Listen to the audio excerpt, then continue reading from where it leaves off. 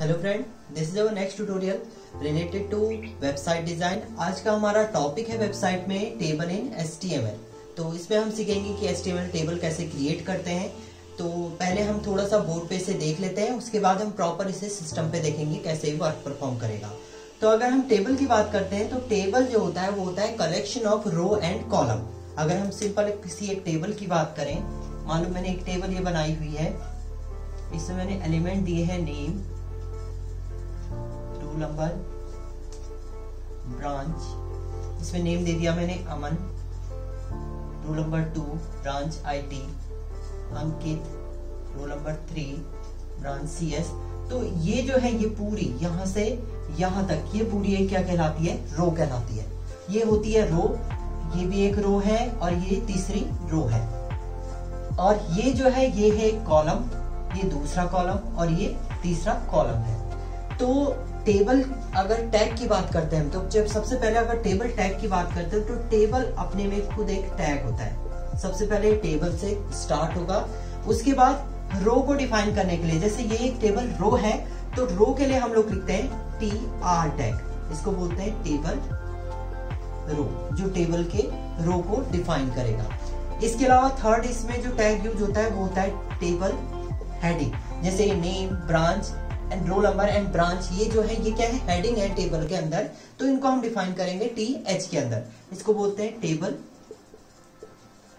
Heading इसके बाद next आता है हमारा टी डी जो एक्चुअल डेटा टेबल में स्टोर होता है, वो कहलाता है टेबल डेटा यानी ये एक डेटा है, ये दूसरा डेटा तीसरा, ये सब क्या है? डेटा है, इसलिए इसको बोलते हैं टेबल डेटा तो ये चीज़ें, ये मेन इसके टैग है हमारे, जो टेबल में मेन टैग यूज़ होंगे, वही ये चार ही टैग यूज़ होंगे। अगर हम इस टेबल को बनाने की कोशिश करेंगे तो ये कैसे डिज़ाइन होगा? सबसे पहले हमारा एस उसके बाद और चीज़ आपको लगाना है, नहीं लगाना है, हम सीधे बॉडी से स्टार्ट करते हैं इसको। बॉडी बॉडी के बाद यहाँ पर आएगा टेबल अब टेबल के बाद हमें ये बॉर्डर भी देना है कि बॉर्डर जो होगा, किस साइज़ का होगा तो इसके लिए हम लोग यहाँ पर लिखेंगे बॉर्डर बॉर्डर इक्वल टू जितना भी आपको पिक्सल में देने हैं, वो दे सकते हैं आप। नहीं भी देने हैं तो डायरेक्ट हम यहाँ पर, जैसे मैं टू लिख रहा हूँ तो ये ऑटोमेटिकली टू पिक्सल जो होगा, वो गेन कर लेगा। इसके अलावा नेक्स्ट जो आएगा, वो आएगा हमारा, सबसे पहला हमारी टेबल रो है फ़र्स्ट रो है। तो हम लोग लिखेंगे यहाँ पर टी आर टी आर लिखा हमने, ये वाली रो की बात कर रहे हैं। इसके अंदर ये सब क्या है टेबल हेडिंग है, ये टी एच है, ये भी एक टी एच है और ये भी एक टी एच है। तो हम लोग यहाँ पर जो लिखेंगे इसके बाद टी एच टी एच में पहली वैल्यू आ जाएगी हमारी नेम और टी एच यहाँ पर क्लोज हो जाएगा। ऐसे ही दूसरा टी एच आएगा और इसमें लिख देंगे रोल नंबर और ये टी एच यहाँ पर क्लोज हो जाएगा। नेक्स्ट टी एच आएगा हमारा ब्रांच जो हमने वहाँ दिया हुआ है और ये टी एच जो होगा यहाँ पर क्लोज हो जाएगा। इसके बाद ये टी आर भी हमारा क्लोज हो जाएगा। तो पहली रो कंप्लीट हो चुकी है। अब हम दूसरी रो पे आए तो फिर से टी आर स्टार्ट होगा। उसके बाद यहाँ पर अब टी डी होगा। टेबल डेटा ये डेटा है, ये सारे डेटा है।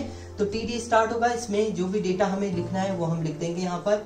और ये टी डी से क्या होगा? क्लोज हो जाएगा। नेक्स्ट टी डी स्टार्ट होगा। उसके बाद जो भी यहाँ पर डेटा है वो स्टोर होगा क्लोज हो जाएगा। फिर से टी डी स्टार्ट होगा।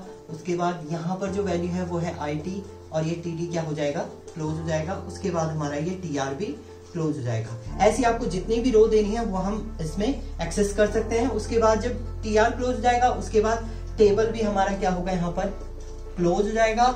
टेबल क्लोज होने के बाद बॉडी क्लोज होगी और बॉडी क्लोज होने के बाद एस भी क्या हो जाएगा? यहाँ पर क्लोज हो जाएगा। तो ये इसका एक प्रोग्राम डिज़ाइन हो जाएगा। इसके अलावा आप चाहते हैं कि मैं दोनों, ये दोनों कॉलम को कंबाइन करूँ कंबाइन करके हम वैल्यू इसमें इंसर्ट करें। तो कंबाइन करने के लिए हम लोग जहाँ पर हमने टी एस लिखा होगा तो ये दोनों कॉलम को हमने कंबाइन करके एक ही कॉलम बनाना है तो उस कंडीशन में हम यहाँ पर क्या लिखेंगे?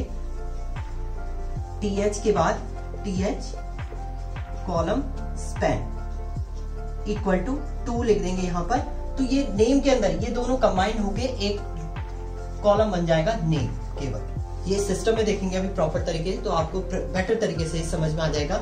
ऐसे हम रो को भी कंबाइन करेंगे इसमें, उसमें रो स्पैम होता है। Span row span equal to जितने भी रो हमें कंबाइन करनी है, वो हम इसमें लिखेंगे। तो ये अभी सिस्टम पे देखते हैं हम। नेक्स्ट सिस्टम पे देख लेते हैं। प्रोग्राम देख लेते हैं। तो सबसे पहले हम लोग टेक्स्ट एडिटर को ओपन कर लेते हैं। इसमें हम न्यू फ़ाइल करके नया फ़ाइल क्रिएट कर लेंगे। उससे सबसे पहले हमें क्या करना है? सेव करना है। तो सेव कर लेंगे हम सेव एस करके। जिस भी फोल्डर में आपको उसको सेव करना है तो आप वहाँ सेव कर सकते हैं। तो मेरा डेस्कटॉप पे एक फोल्डर है एच कोडिंग का। तो मैं वहाँ पर इसे सेव कर लेता हूँ। टेबल डॉट एच से इसे सेव कर लेता हूँ।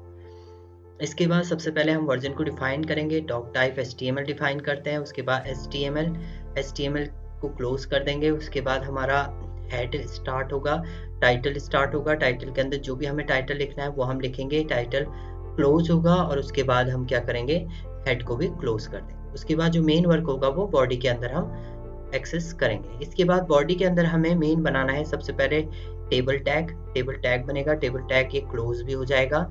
उसके बाद, इसके बाद नेक्स्ट जो बनेगा टेबल में, सबसे पहले टेबल रो आती है तो हम लोग यहाँ पर जो बनाएँगे, वो बनाएँगे टी आर तो यहाँ पर हम लिखेंगे टी आर और टी आर को क्या करेंगे? क्लोज भी कर देंगे टी आर से। जो भी हमने टी आर के अंदर फ़र्स्ट टी आर के अंदर टी एच हम क्रिएट करेंगे। टी एच मतलब टेबल हेडिंग देंगे फ़र्स्ट फ़र्स्ट रो के अंदर फ़र्स्ट जो कॉलम हम डिफाइन करेंगे, वो लिखेंगे। तो यहाँ पर नेम लिख दिया मैंने टेबल हेडिंग के अंदर। दूसरा टेबल हेडिंग हम डिफाइन करते हैं और इसे क्लोज भी है ऑटोमेटिकली हो जाएगा। इसमें रोल नंबर हम डिफाइन कर लेते हैं। इसके बाद नेक्स्ट टी एच हम स्टार्ट करते हैं और उसमें इससे भी हम क्या करते हैं ऑटोमेटिकली कॉल को क्लोज हो जाएगा और इसमें हम लोग क्या लिखते हैं ब्रांच लिख देते हैं। इसके बाद हम लोग क्या करते हैं, इसको सेव कर लेते हैं और रन कराते हैं। रन कराने के लिए आपको उसी फोल्डर पे जाना है। फोल्डर पे जाके आपको इसमें राइट क्लिक करना है। अगर आपका ब्राउज़र नहीं दिख रहा है तो ओपन विथ करना है ब्राउज़र पे। ओपन कर लेना है इसको ब्राउज़र पे। जब ये ओपन हो जाएगा तो हमारा जो है, ये रन होके हमें दिख जाएगा, ये बन जाएगा। बट इसमें अभी हमें प्रॉपर इसका बॉर्डर नहीं दिख रहा है, ये हमारा टाइटल ऊपर आ गया। तो बॉर्डर देखने के लिए हम लोग क्या करेंगे? उस जो हमने टेबल बनाई है, जो हम लोग टेबल बनाई है हम लोगों ने, उसमें ऊपर जो लिख देंगे हम टेबल में जाके टेबल का बॉर्डर डिफाइन कर देंगे। बॉर्डर इक्वल टू जितना भी बॉर्डर हमें देना है टू पिक्सल में भी दे सकते हैं। सिंपल टू भी हमने लिख दिया है। तो यहाँ पर जो हो जाएगा ये बॉर्डर भी हमारा इसमें जनरेट हो जाएगा। तो ये अभी हमारी पहली रो क्रिएट हुई, ऐसी हम लोग बहुत सारे इसमें रो क्रिएट करेंगे तो दूसरी रो हम क्रिएट कर लेते हैं टी आर लिख के टी आर को क्लोज करेंगे। अब हमें डेटा इंसर्ट करना है तो हम लोग इसके अंदर देंगे टी डी तो हम तीन हमने कॉलम बनाए थे तो तीन हम यहाँ पर टी डी भी डिफाइन करेंगे, हर कॉलम में वैल्यू क्या करेंगे इंसर्ट करेंगे। तो ये पहले टी डी हो गया, ये दूसरा टी डी इसमें हम रोल नंबर डिफाइन कर देंगे। जो भी हमें रोल नंबर देना है टू दे देते हैं। नेक्स्ट टी हम डिफाइन करेंगे। उसके अंदर हम ब्रांच दे देते हैं आई ऐसी आपको जितने भी इसमें डिफाइन करने को कर सकते हैं। इसको रिफ्रेश करके एक बार रन करा लेते हैं तो ये हमारा क्या हो जाएगा? टेबल क्रिएट हो जाएगी। इसके अलावा आप इसमें कितने भी टी आर दे, दे सकते हैं तो हम लोग एक और कॉपी पेस्ट कर लेते हैं। थोड़ा यहाँ पर चेंजेस कर लेते हैं। टी आर की जगह पे कुछ और लिख लेते हैं टी डी को। तो यहाँ पर मैंने थोड़ा थोड़ा डिफाइन कर दिया है इनको, अलग कर दिया है। तो ये बहुत सारी हमारी क्या हो जाएँगे इसमें? रोज क्रिएट हो जाएँगी। कॉलम तो हमारे तीन ही रहेंगे बट रो हमारी बहुत सारी इसमें क्रिएट हो जाएगी, उनके अंदर डेटा जो हो जाएगा वो स्टोर हो जाएगा। तो रिफ्रेश कर लेते हैं इसको F5 से तो ये हमारा क्या हो जाएगा?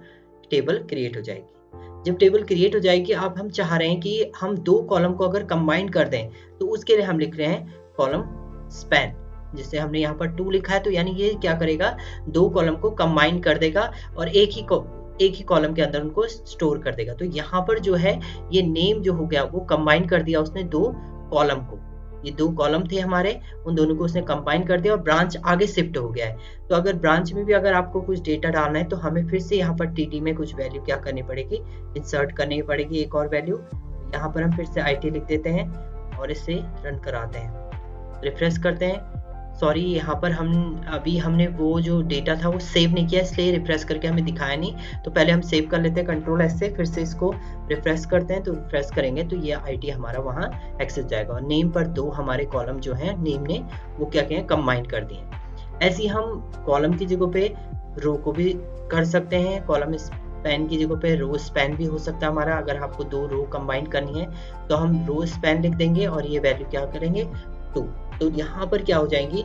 यहाँ पर दो रो अब कंबाइन हो गई। तो यानी ये रो नंबर और कमल वाली एक बन गई है वहाँ पर नेम नाम से। ये हमारी एक रो डिज़ाइन हो गई है। तो इसे प्रॉपर तरीके में से आप देख लें। अच्छी तरह बना लें इसको। तो इस टाइप से हम लोग इसमें क्या करते हैं? टेबल क्रिएट करते हैं। तो ये थी हमारी टेबल थैंक यू फ्रेंड